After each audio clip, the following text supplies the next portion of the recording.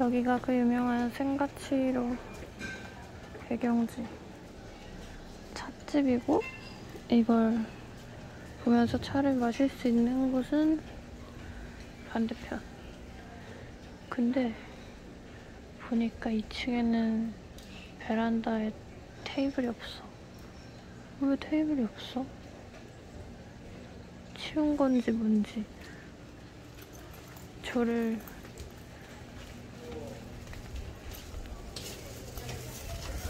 저기 앞쪽이 아니라 옆쪽에 자리 주면서 여기 view 좋다고 하면서 여기 view를 보여주면서 여기 view 보라고 그래서 앉자마자 사실 앉지도 않고 그냥 나와버렸어요.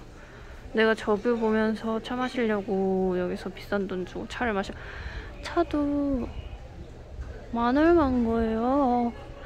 직접 차를 우려 먹으려면 그렇고 그냥 티백 같은 거 사면은 6,000원인 것 같은데 6,000원이어도 대만에서 6,000원이 어디야?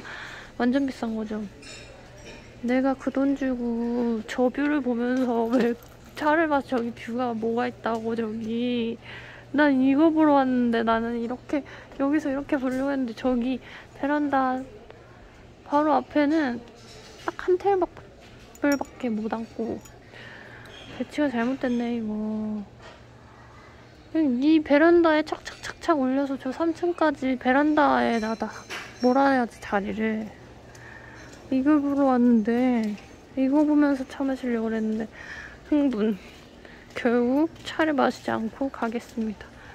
여기 내부도 아기자기하고 이쁜 것 같긴 한데 관광지라 차값이 너무 비싸. 나 차가 이렇게 비싼지 몰랐어. 직접 주전자에다 우려 먹는 거는 만 얼마야. 근데 시내도 그 정도 하는 것 같던데. 뭐 이렇게 비싸, 차가? 커피가 더 싸요. 여기 커피는 싸. 커피는 160원. 160원 얼마야? 2,500원?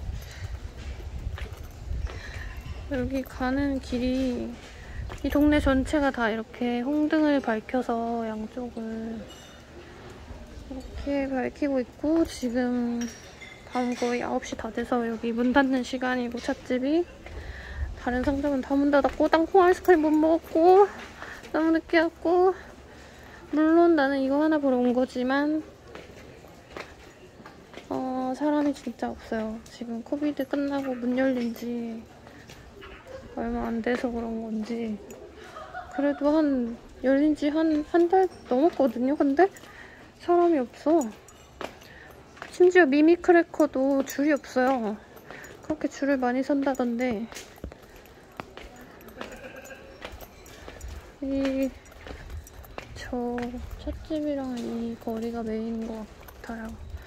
여기 불이 꺼졌네? 아, 아까 켜졌던 것 같은데 여기서 사진을 그렇게 찍으시더라고요. 아 저는 이제 타이베이 야시장으로 가겠습니다. 기차 타고 갈 거예요. 버스 타고 기차 타고.